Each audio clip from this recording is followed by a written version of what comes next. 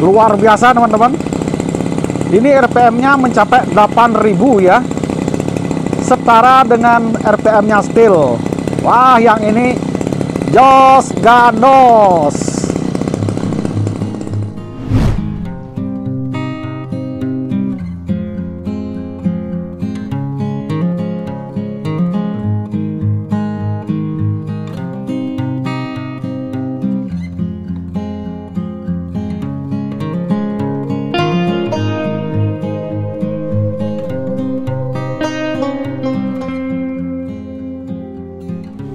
Halo teman-teman, sahabat penghobi mesin rumput.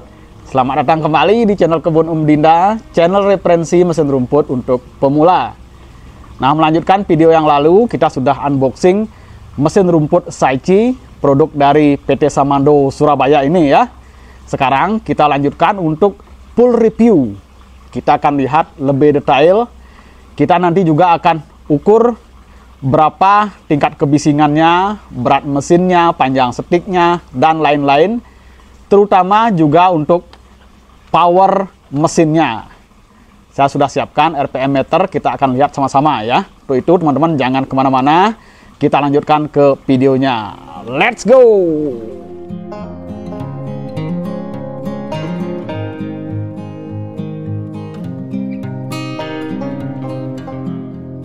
Nah, yang pertama kita lihat detail mesinnya dulu ya, teman-teman. Sini, sini, sini, sini, biar lebih jelas. Nah, bagian cover mesinnya ini berwarna merah terang ya. Kemudian di recoil starternya ada logo Saichi ya.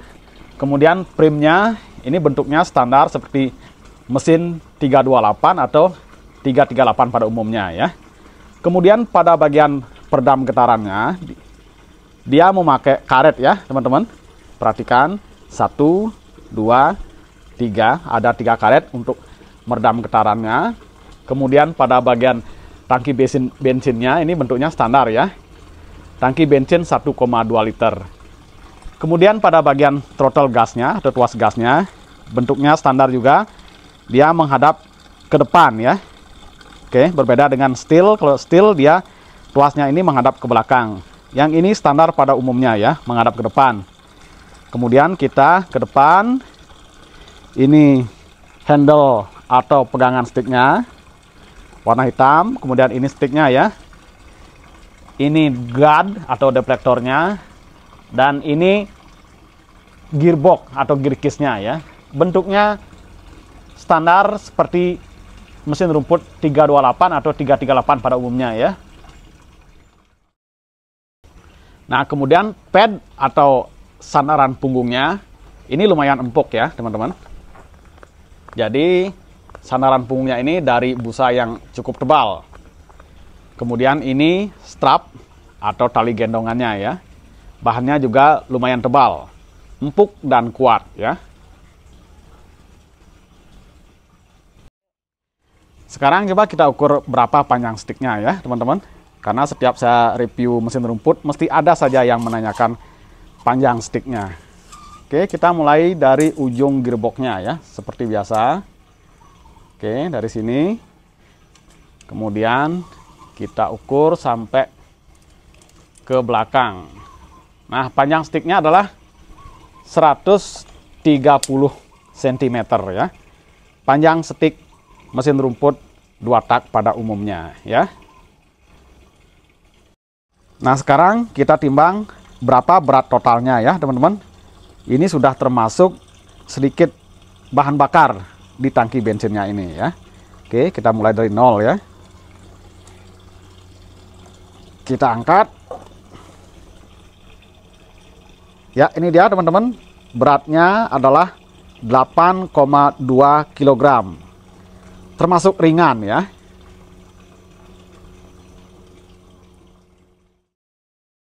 Sekarang coba kita ukur berapa desibel tingkat kebisingannya ya. Dan juga getarannya. Saya sudah siapkan rumput seperti biasa ya untuk sebagai penanda kita taruh di sini. Nanti kita akan lihat apakah dia bergeser jauh atau anteng di tempat. Oke?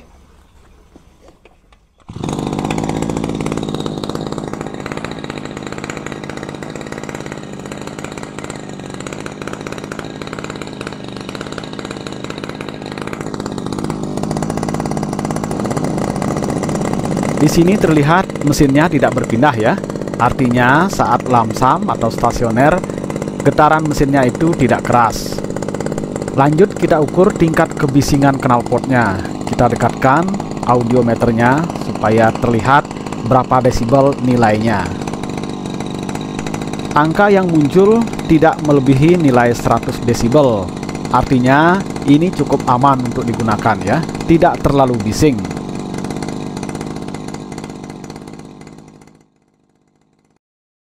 Nah, sekarang kita lanjutkan untuk pengetesan powernya. Saya sudah siapkan RPM meter. Kita lihat sama-sama berapa RPM yang bisa dicapai oleh mesin rumput Saichi ini. Oke?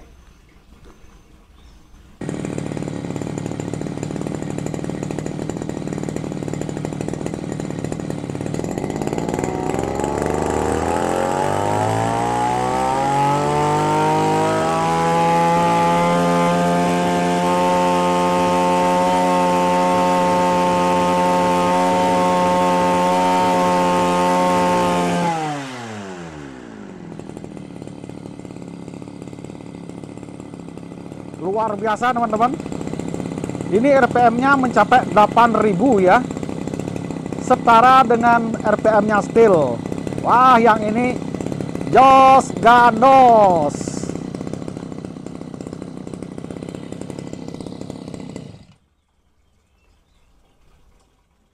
Luar biasa teman-teman ya. Mesin murah tapi RPM-nya bisa tembus ke 8000 Jos Gandos Luar biasa sekali ya teman-teman. Mesin murah bisa tembus di RPM 8000. Ini cukup mengejutkan ya, karena biasanya mesin murah itu RPM-nya di bawah 7000.